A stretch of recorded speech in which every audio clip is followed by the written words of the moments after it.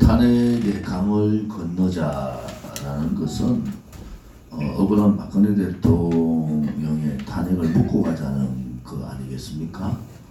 아, 특히 거기에 탄핵을 주동했던 사람들이 앞장서서 어, 무슨 통합을 얘기한다 이런 얘기들이 있는데 어, 잘안 될 겁니다.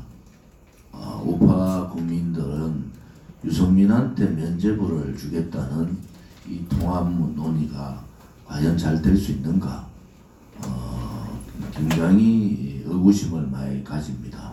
음, 탄핵의 강을 건널 것이 아니라 탄핵에 대한 반성과 사죄가 우선이 돼야 되고 어, 탄핵의 강은 그야말로 불법 탄핵에 대한 진실 규명의 강을 건너야 된다.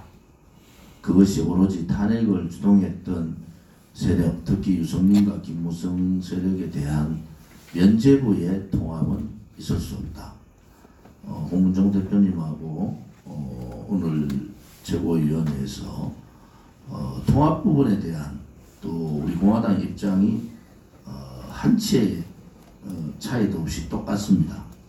어, 이 유승민을 비롯한 이러한 통합 구도에 우리 공화당이 어, 참여하지 않는 것은 우파 국민의 뜻이다.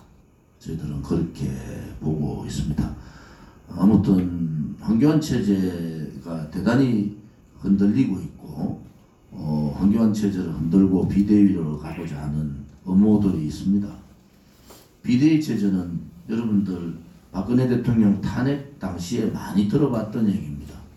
저들은 조금 불리하면은 중도를 얘기합니다. 조금 불리하면은 비대위를 얘기하고 혁신을 얘기하고 개혁을 얘기하고 저들의 18번이 새로운 집을 짓자는 것이 18번입니다. 똑같은 얘기를 국민을 계속 속이고 있는 겁니다. 똑같은 얘기로. 그래서 우리 공화당은 어, 우파 국민을 중심으로 그분의 민심을 쫓아가면 된다고 봅니다. 음, 이번 대구 어, 에 갔다가 요즘 대구 선거가 있으니까 자주 갑니다만은 대구 민심의 변화는 눈에 보일 정도로 바뀌고 있다. 대구 경북은 어, 이 민심의 변화가 이제 서울로 북상을 할 겁니다. 밑으로는 대구 부산으로 내려가고 어, 이번 토요일 집회가 특히 부산에서 있으니까 어, 이 부산 집회가 어, 감정육날 어, 우리 공화당의 결집된 모습을 보이는 그러한 집회가 되었으면 하는 바람입니다.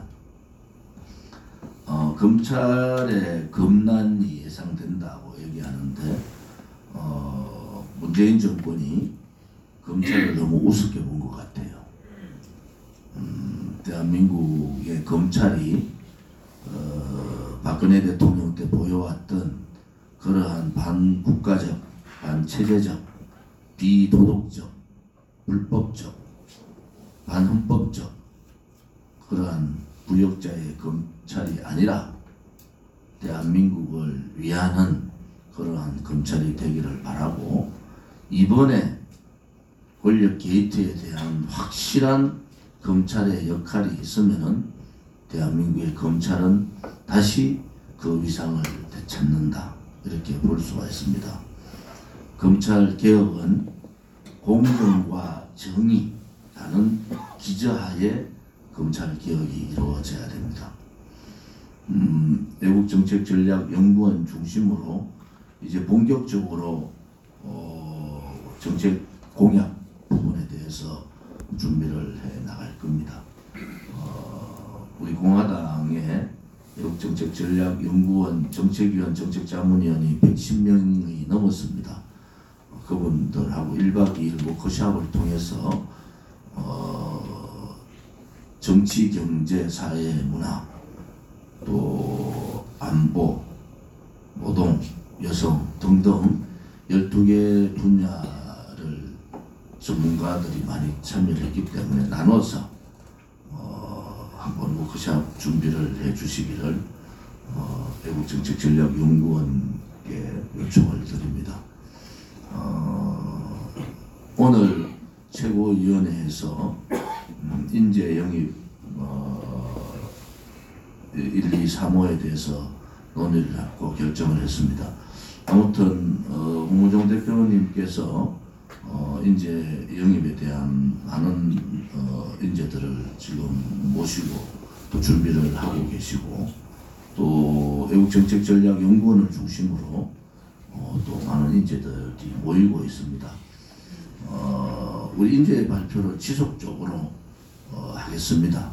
우리 공화당이 어떤 당인가, 또 우리 공화당이 어떤 분들이 모이고 있는가라는 모습을 어, 인재 영입 발표를 통해서 국민들한테 이제 알려야 됩니다. 이제부터는 우리 공화당의 인재 영입이 우리 공화당의 얼굴이고 우리 공화당이 이 사회로 총선을 이끌고 갈 수 있는 우파 정당의 중심 세력이다. 이런 인식을 국민들께 드리기 위해서 우리 공화당에 대한 어, 인재 영입의 박차를 가하도록 하겠습니다. 동시에 의원님들의 입당이 있습니다. 구체적으로 여러 가지 시기를 논의하고 또 여러 가지 준비를 해야 되기 때문에 어, 두 분 정도가 벌써 우리 당 입당을 놓고를 했습니다. 어, 발표를 할 수는 없습니다만은 좀 더 많은 분들이 저는 어, 1월 중으로 많은 분들이 오시지 않을까 이런 기대도 해보고 우리 공화당이 인재 영입을 통해서 우리 공화당의 참모습을 보이면은 어, 용기 있는 의원들이 어, 더 많이 우리 당을 노크를 하고 또 어, 국민들께서도 어, 우리 공화당이 가졌던 잘못된 인식이 많이 바뀔 수 있다 이렇게 봅니다. 우선 어, 인재 영입을 발표를 하겠습니다. 어, 인재 영입 1호 한민호 1962년생 서울대학교 역사교육학과 졸업 어, 문화체육부 어, 국장 출신이고 문재인 정권 정책에 대해서 특히 원전 폐기 정책과 반일 선동 정책을 비판했다는 이유로 제1호로 파면된 공무원이십니다. 행정고시 출신입니다. 음, 평택 그 을지역에 서 평택에서 주로 어, 학교를 다 나오셨습니다. 아무튼 어, 한민호 어, 국장님의 용기 있는 우리 공화당 입당에 대해서 환영을 하고 어, 감사를 드립니다. 2호는 청년 전문가 영입 케이스로 최혜림 씨입니다. 1977년 42세고 어, 당국대학교 전치 어, 전기전자 학사 석사 포스코 ICT의 책임 연구원입니다.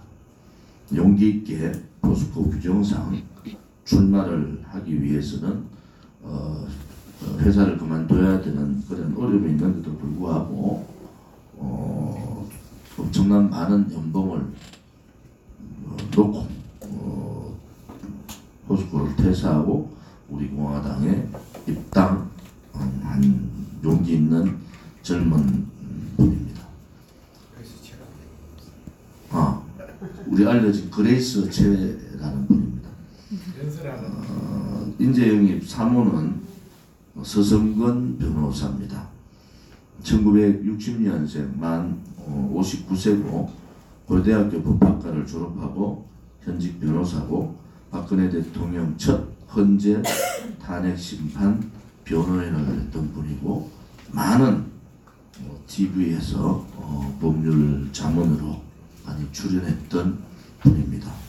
우리 최고위원회에서는 어, 이세 분을 어, 어, 인재 영입 1, 2, 3으로 어, 오늘 결정을 하고 앞으로 국민들이 깜짝 놀랄 많은 인재들을 어, 홍문정 대표님을 중심으로 어, 발표를 해 나가겠습니다.